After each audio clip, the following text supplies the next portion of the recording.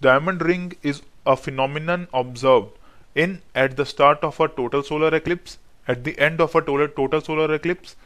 only along the peripheral regions of the totality trail, only in the central regions of the totality trail. so, देखते हैं कि diamond ring ये phenomena actually होती क्या है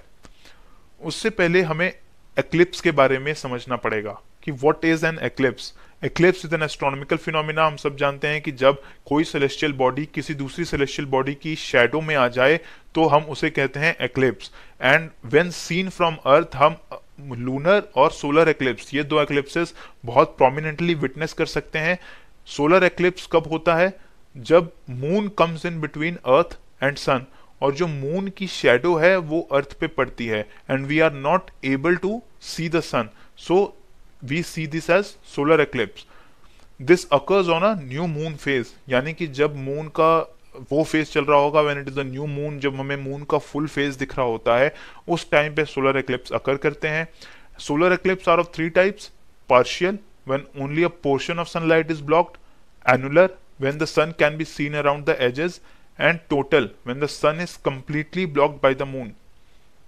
इस डायग्राम से हम देखें तो हमें ये सोलर एक्लिप्स और सही समझ आ सकता है। As you can see moon sun और अर्थ के बीच में आ गया। देर इज़ वन जो zone of shadow called penumbra which is called partial eclipse यानी इन रीजन्स में हमें सन पार्शियली दिख सकता है, जो ब्लू रीजन्स हैं।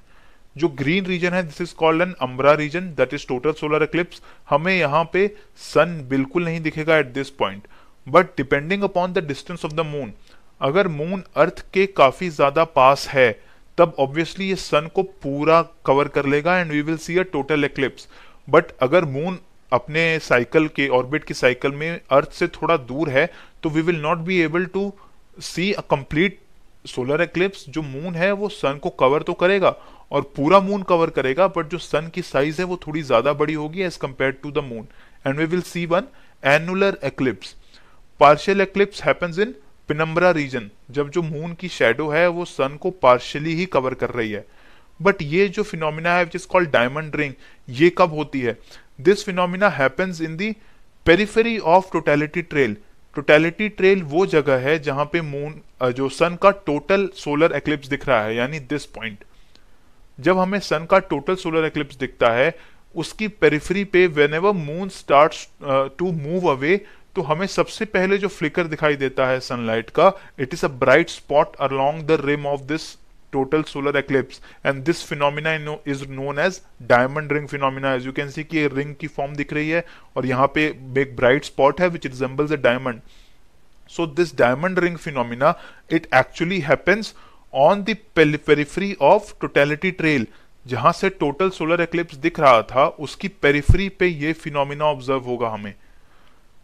एक बार हम लूनर एक्लिप्स के बारे में भी देख लेते हैं। जैसे सन का एक्लिप्स हो रहा था, उसी तरह लूनर एक्लिप्स में अर्थ की शेडो पड़ती है सन मून के ऊपर और मून एक्लिप्स हो जाता है। This happens only during a full moon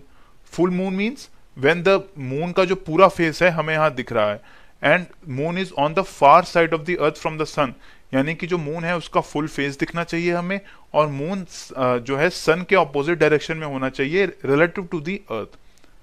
lunar eclipse is also of two types partial lunar eclipse when only a part of the moon is covered by sun and total lunar eclipse when the entire moon is covered by the sun so again we come to this question कि diamond ring के phenomena कब observe होगी हमने अपने answer में देखा कि it happens only along the peripheral regions अगर टोटल सोलर एक्लिप्स का स्टार्ट है तो इसका मतलब मून की शेडो धीरे धीरे सन को कवर करने लगी है। वहाँ पे कोई डायमंड रिंग नहीं दिखेगी हमें। और टोटल सोलर एक्लिप्स जब खत्म होने लगेगा, तब भी हमें डायमंड रिंग नहीं दिखेगी। बट अगर पेरिफेरल रीजन्स हैं टोटेलिटी ट्रेल के, जहाँ पे टोटल सोलर एक्लिप्स हो चुका है, और उसके जो पेरिफेरल रीजन्स हैं, वहाँ पे हमें डायमंड रिंग ऑब्ज़र्व होगी। So our answer will be C only along the peripheral region of the totality trail